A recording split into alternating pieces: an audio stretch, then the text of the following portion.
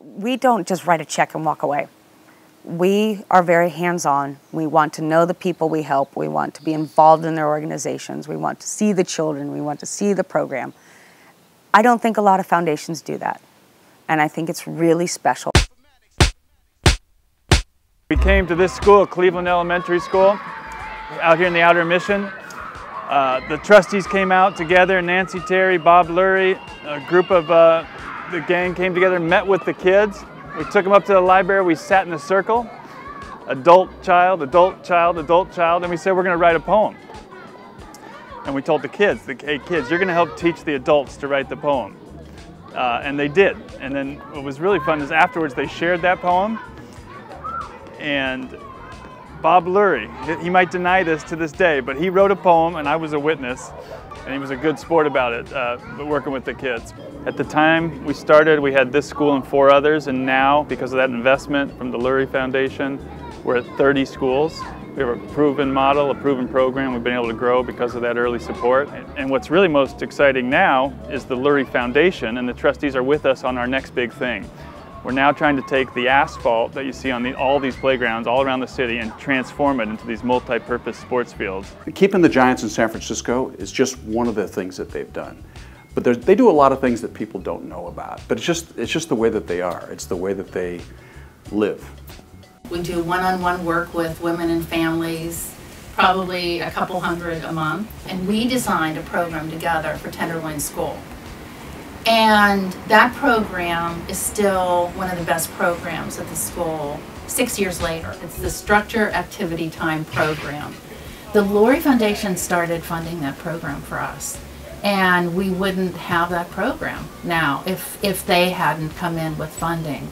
And it's made a difference in the entire culture of those 400 students every year.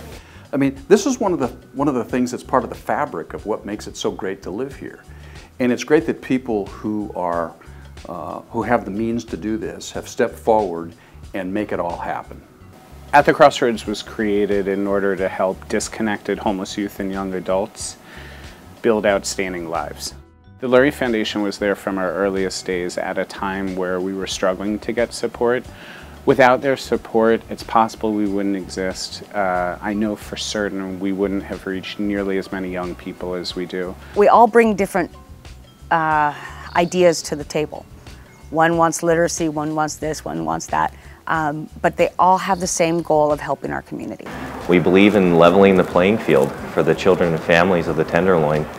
And in partnership with our families, every day, um, we work together to break the cycle of poverty through education. It's because of the leadership of partners like the Louis R. Lurie Foundation that we are really able to make a tremendous difference in the lives of the children that we serve. And we are so grateful for the many ways that they have continuously supported our, our mission of transforming lives in the Tenderloin. The Louis R. Lurie Foundation has been absolutely essential to our work. They have supported for many, many years our playroom, helping vulnerable children in crisis, and really ensuring that all families can create a safe space for their children. The foundation was really instrumental in helping us launch our Healthy Children's Pantries, where we target families with children, getting food right into schools so that families don't have to make an extra trip to get grocery assistance. We know that writing is fundamental to success in school and beyond, and so everything we do is about inspiring kids to write.